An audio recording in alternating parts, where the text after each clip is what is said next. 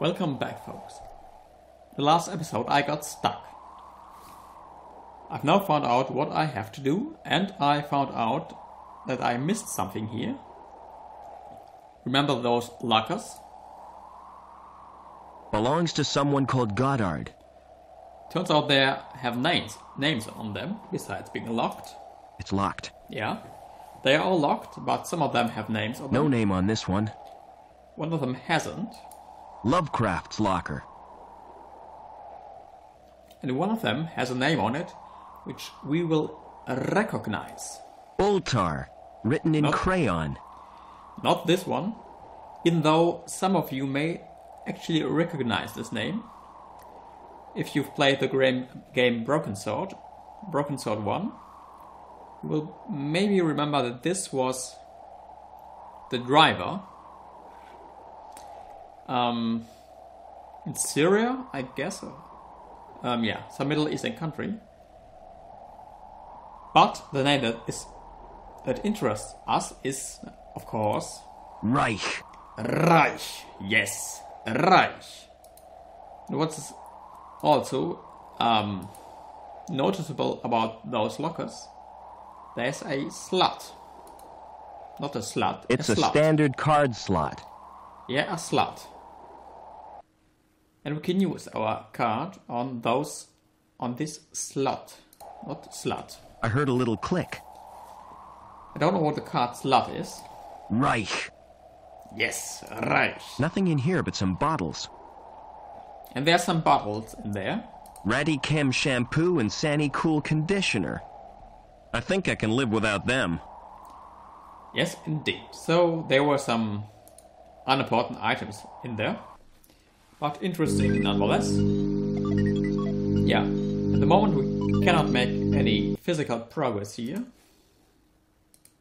At this LINC terminal, we have to go elsewhere.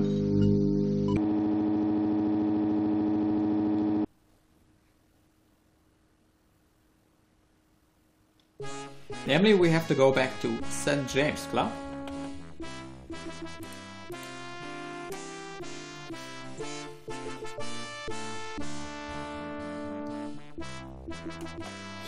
Before we go to St. James Club, um, we'll make a short detour to the court.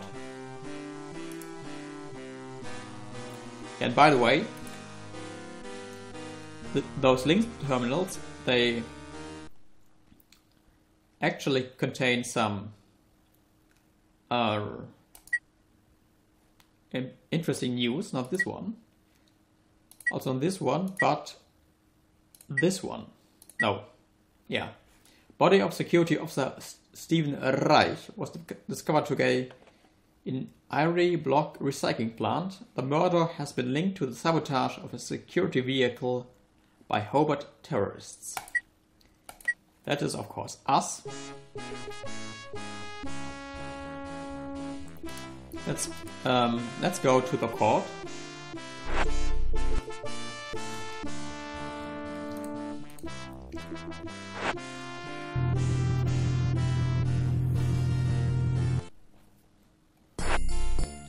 You may wonder why we are going to the court.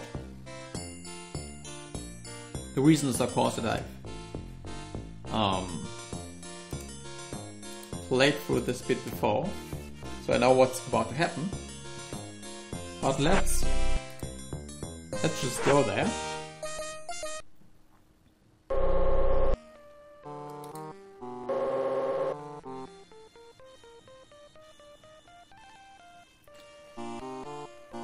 And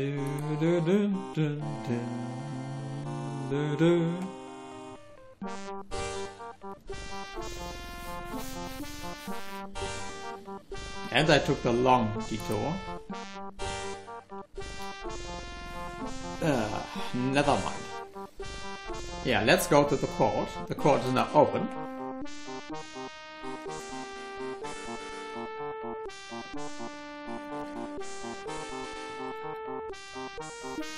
Silence in court. Security Services, Department of Justice, Inc. Judge Chutney presiding. court is now in session. We're about to meet some. Um, Silence! I recognize that villain. An habitual criminal if ever I saw one. Uh, that's Mr. Greaves, my lord. yeah, we're about to The counsel um, for meet the prosecution. we've met before. Silence when you speak to me. Now, who is the first contestant? And the judge is a little bit weird. my lord. Yeah. The case of Union Security Services versus Howard Hobbins. Yes, Mr. Hobbit. Howard Hobbins. Come on up. The guy who was Nice to see you, Coulter Steel, Howard. unfortunately. You're not nervous, are you? Not really.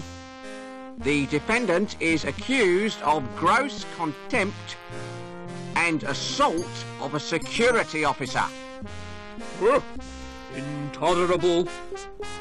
What have you got to say for yourself, eh? I've been framed, Your Honour. May I elucidate, my lord? Go on then, but hurry up about it. Officer Blunt was investigating a complaint made against Hobbins. After questioning the defendant, he was the victim of an assault. Ah, monstrous! Off with his head. Just a flipping minute. Who's defending me? Defence? Is he entitled to any? I'm afraid so, my lord. Upon my soul, whatever next? Who'd be silly enough to defend this wretch? Uh, yeah. We will. Apparently. We are Very silly well. enough. Let's get on with round one. Fingers on the buzzers, everyone. I wish to call Officer Blunt. Call Officer Blunt. Please tell the court what happened. Oh, I was assaulted.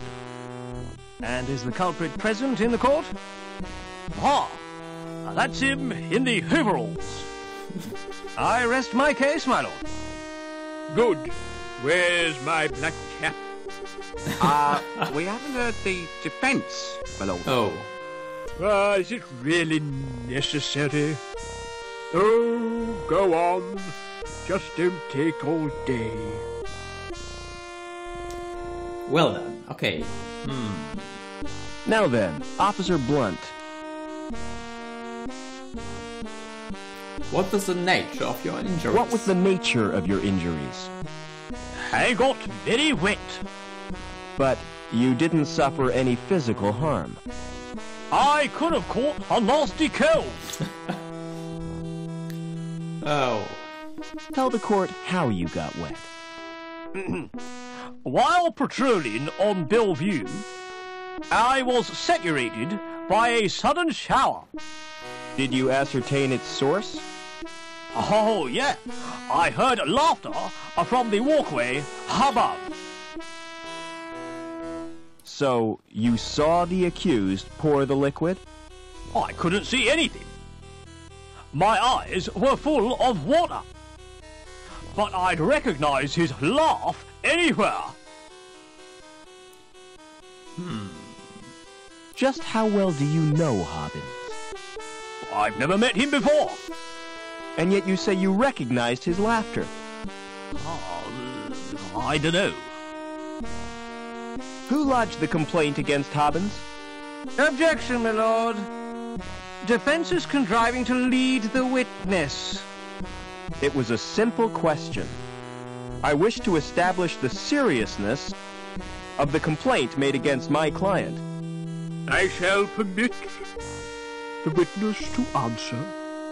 However, I'm awarding Mr. Greaves five points for a well-timed interruption. That's a So who did call. lodge the complaint? It was Daniel Piermont. Oh, darling. What was Mrs. Piermont's grievance? Cruelty to her pet dog. I interviewed Hobbins on four occasions, but he still hasn't confessed.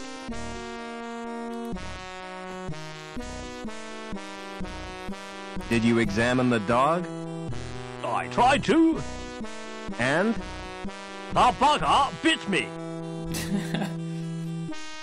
No further questions, Your Honor.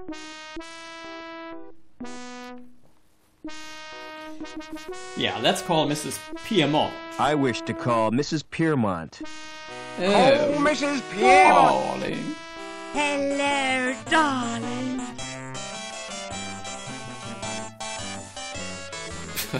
Hello, Ah. Robin. Hello, everyone. Silence in court. Very well then.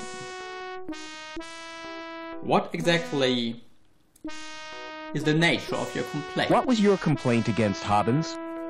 He was abused, my little poochie poo. Disgraceful. I haven't had a dog abuse case since the infamous Spaniel Mangle scandals. Did you witness the alleged attack? Not exactly. Then how did you know about it? Did the dog tell you? Officer Blunt reported the incident to me. Had you met Hobbins before this incident? I don't recall ever seeing him. But one takes little notice of mere maintenance men. How would you describe your pet dog? Objection, Your Honor. This is a trial, not a dog show. Objection overruled, Mr. Greaves. I want to get to the bottom of this doggy business. He's an absolute darling, darling. Everyone adores him. I don't think so. But Officer Blunt said it bit him. Oh, that would be the uniform. He was mauled by a troop of scouts when he was a puppy. No further questions, Your Honor. I'd like to question the defendant. Did you assault Officer Blunt? Objection, my lord. Why, man, what's wrong? Um, repetition, my lord. Objection overruled. Are you guilty of assault, Howard? Not me. I was fixing one of the cooling pipes, and it burst. So Blunt's soaking was an accident? Not exactly. Why did the pipe burst? Some joker had cut a power cable and overloaded the steam release in the power station. Oops. That's what damaged the cooling pipe. Oh, I see. Yeah. Who might that have been? I Did you laugh at Blunt's predicament? Laugh! I'd nearly wet me pants. No further questions, Your Honor. Mr. Greaves, you may start the bonus round. The facts speak for themselves, my lord. Hobbins is a cruel and callous man with no respect for law and order. I recommend the maximum possible sentence. Any comments from the defense? I don't believe this is happening. This is total madness. You've all is. been warped in some way. And I think LINC is the cause. Silence! I've heard quite enough of this nonsense. So it's time for me to make my judgment. Howard Hobbins, you've won tonight's star prize.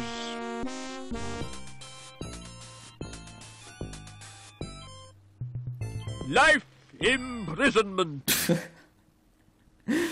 Uh. However, in view of your service to the city, I'm going to reduce your sentence.